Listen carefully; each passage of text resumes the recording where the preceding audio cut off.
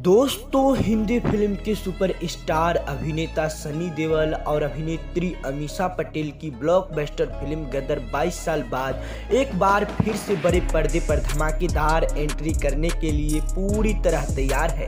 जैसे कि दर्शक को फिर से मेरा हिंदुस्तान जिंदाबाद था, जिंदाबाद है और जिंदाबाद रहेगा की गूंज सुनाई देगी। हालाँकि फ़िल्म में सन्नी देवल और अमीषा पटेल की जोड़ी यानी तारा सिंह और सकीना की प्रेम कहानी देखने को मिलेगी।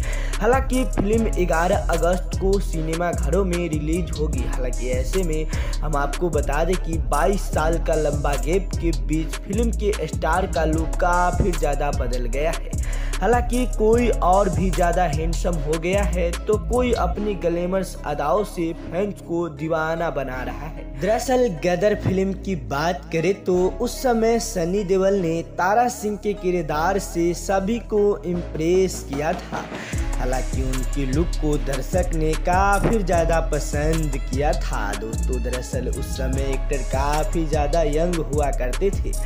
जैसे कि अब समय के साथ वो और भी ज़्यादा हैंडसम हो गए हैं। हालाँकि फ़िल्म में सकीना का किरदार निभाने वाली अमीषा पटेल की मासूमियत ने हर किसी का दिल जीत लिया था। हालाँकि उनकी सादगी और वो बोलती आँखें आज भी लोगों को जहन में है। हालाँकि अब अमीषा बढ़ती उम्र के साथ साथ और भी ज़्यादा हॉट हो गई है। जैसे कि सन्नी देवल के बेटे चरणजीत का किरदार निभाने वाले उत्कर्ष शर्मा उस समय काफ़ी छोटे और क्यूट हुआ करते थे।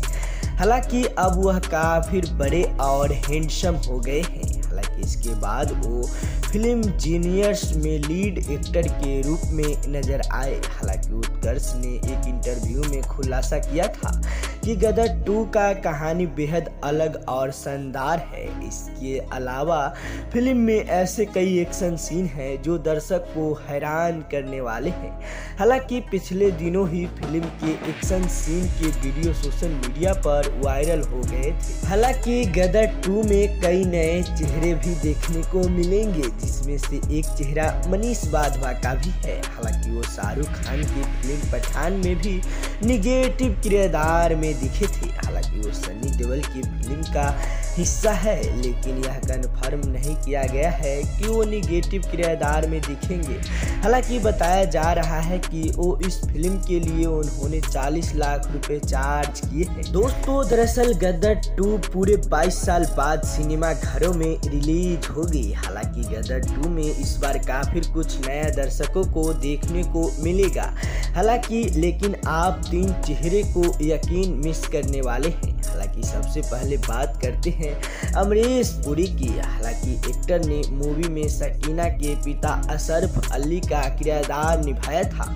हालाँकि 12 जनवरी साल 2005 को एक्टर का निर्धन हो गया था। हालाँकि मीडिया रिपोर्टर्स की माने तो बंटवारे के दौर में तारा सिंह और सकीना की एक प्रेम कहानी थी। हालाँकि सिक्वल में निर्माता 24 साल की छलांग लगा रहे हैं, क्योंकि इस बार कहानी भारत और पाकिस्तान के बीच 1971 के युद्ध के समय को दर्शाएगी। हालाँकि पिछली बार तारा सिंह गदर में सकीना को वापस लाने के लिए पाकिस्तान में गया था। हालाँकि इस बार वह इस लड़ाई के बीच अपने बेटे जीत को बचाने के लिए